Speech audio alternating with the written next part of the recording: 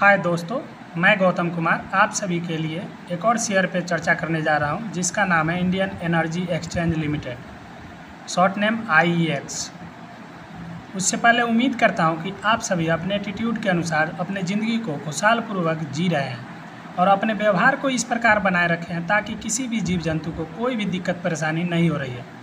एक आवश्यक सूचना मैं वीडियो बनाता हूँ सिर्फ़ नॉलेज पर्पज़ इन्वेस्टमेंट का कोई भी सलाह मेरा नहीं है। इन्वेस्टमेंट अपने बुद्धि विवेकानुसार ही करें। धन्यवाद दोस्तों। चलते हैं आगे वीडियो पर। इसका, इसके बारे में जानते हैं। 2007 में निगमित इंडियन एनर्जी एक्सचेंज लिमिटेड बिजली की भौतिक डिलीवरी के लिए बिजली इकाइयों में व्यापार करने के लिए एक स्वचालित मंच और बुनियादी ढांचा प्रदान करता है। तो क्या है इसका कामकाज? वो समझ में आ गया होगा शॉर्ट में। अब आगे चलते हैं थोड़ा इसके डाटा पर, जो कि मेन डाटा बोलते हैं इसको, मेरे हिसाब से। तो जैसा कि स्क्रीन पर दिख रहा होगा मार्केट कैप ग्यारह हज़ार आठ सौ साठ करोड़ करेंट प्राइस एक सौ तैंतीस रुपया, बावन वीक का हाई लो एक सौ चौंसठ रुपया और एक सौ सोलह रुपया। स्टॉक पी उनतालीस दशमलव आठ बुक वैल्यू आठ दशमलव आठ शून्य रुपया dividend yield point seven five percent R O C इक्यावन दशमलव आठ परसेंट आर ओ ई उनतालीस दशमलव चार परसेंट फेस वैल्यू एक रुपया। तो R O C R O ई ज़बरदस्त है इसका।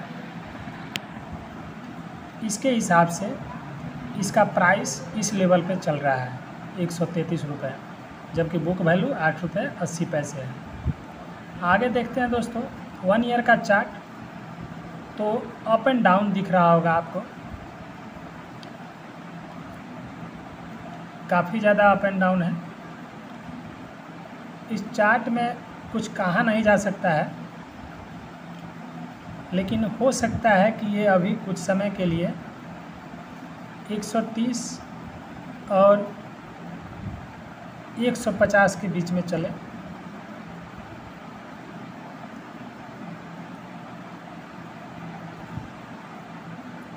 अब इस कंपनी में प्रोज, कंपनी इज़ ऑलमोस्ट डेप्ट फ्री। इसको हिंदी में ट्रांसलेट करके पढ़ लेते हैं। कंपनी लगभग कर्ज मुक्त है। कंपनी ने पिछले पाँच वर्षों में उन्नीस दशमलव एक सी ए जी आर की अच्छी लाभ वृद्धि दर्ज की है। कंपनी का इक्विटी पर अच्छा रिटर्न, ट्रैक रिकॉर्ड, तीन साल का आर ओ तैंतालीस दशमलव सात परसेंट। कंपनी लाभांश भुगतान करती है अड़तालीस दशमलव छः परसेंट का। अब दोष है, स्टॉक अपनी बुक वैल्यू से पंद्रह गुना पर ट्रेड कर रही है, पंद्रह दशमलव एक। कार्यशील पूंजी दिवस माइनस तीन सौ तैंतालीस दिन से बढ़कर सतासी दिन हो गए हैं। तो कौन जो है, ज़्यादा कुछ नहीं है। लेकिन प्रोज अच्छी खासी है।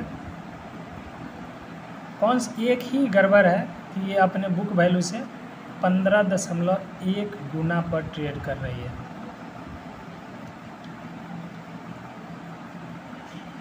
मतलब उतने टाइम्स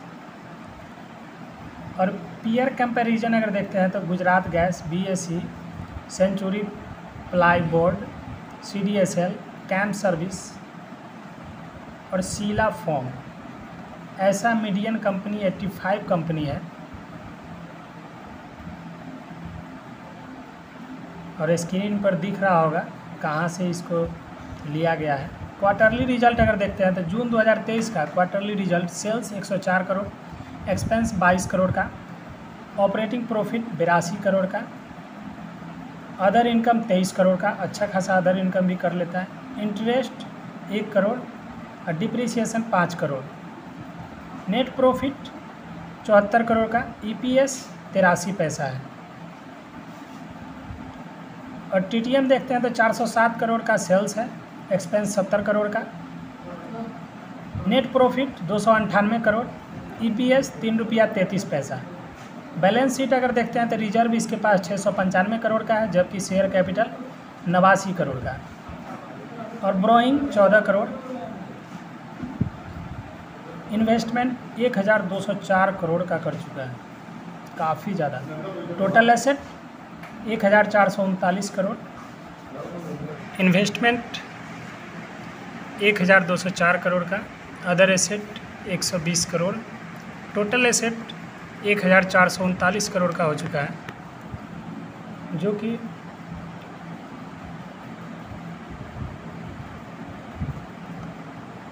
बहुत अच्छा है इस शेयर के लिए। लेकिन इन्वेस्टमेंट अगर करें तो अपने बुद्धि विवेकानुसार मेरा कोई सलाह नहीं है इस शेयर में इन्वेस्टमेंट करने का। तो धन्यवाद दोस्तों। आगे चलते हैं। कैश फ्लो माइनस में है। मार्च 2023 में एक सौ सड़सठ करोड़ का। वो भी माइनस में। जबकि मार्च 2022 में एक सौ उनासी करोड़ का प्लस में है।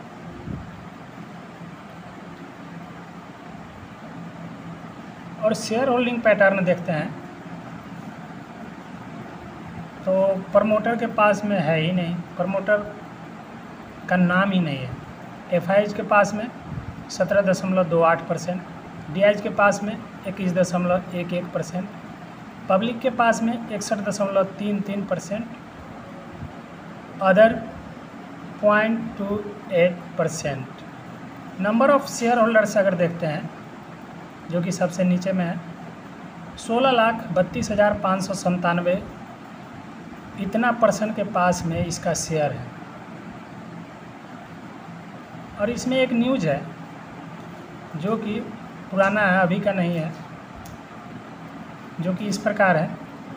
वेबकास्ट किया था कंपनी ने सत्रहवा एनुअल जनरल मीटिंग का, जो कि पाँच सितंबर को। और कुछ खास न्यूज़ है नहीं।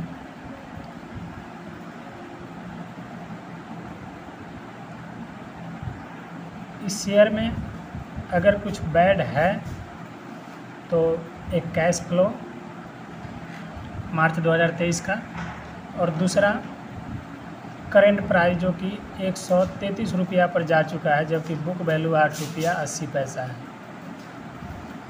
बाकी ये बात सब ठीक है, लेकिन इस शेयर में इन्वेस्टमेंट अगर करें तो अपने बुद्धि विवेकानुसार ही मेरा इन्वेस्टमेंट का कोई भी सलाह नहीं है। धन्यवाद दोस्तों। ओके बाय बाय फिर मिलते हैं नेक्स्ट वीडियो में।